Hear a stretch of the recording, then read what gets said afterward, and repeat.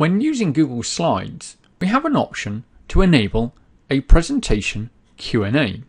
In the top right hand corner next to the present button, select the drop down arrow and choose presenter view. Present with an audience Q&A and view speaker notes. When we do this, this will load the presenter screen.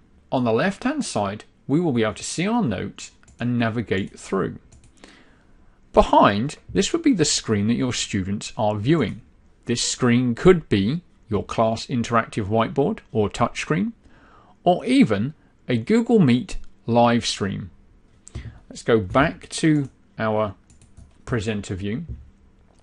Across the top, we have audience tools. I'm going to select audience tools and I'm going to start a new audience Q&A. When we select this box, automatically a new URL is created across the top of your presentation. There are a few options that we can have.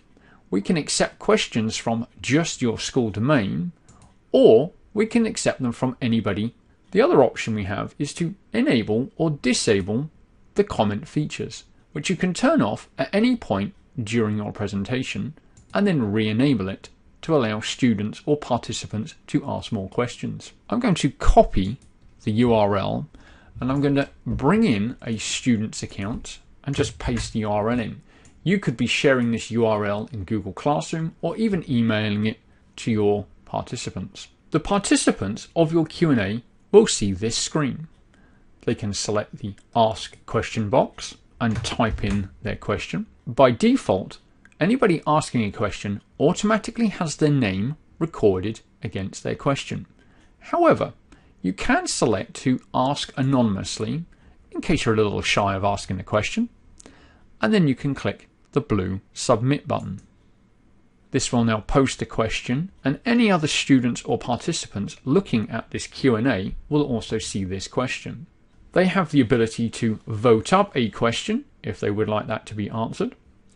Let's return to the viewer's notes and we can see here that that question has been asked. If somebody was to select the vote up thumbs up, we will also see this as the presenter view. You can continue to present your slides as you normally would, and the students will still be able to ask questions using your URL. Once you have finished your Q&A session, be sure to turn off the Q&A URL. This will stop any participants from asking more questions.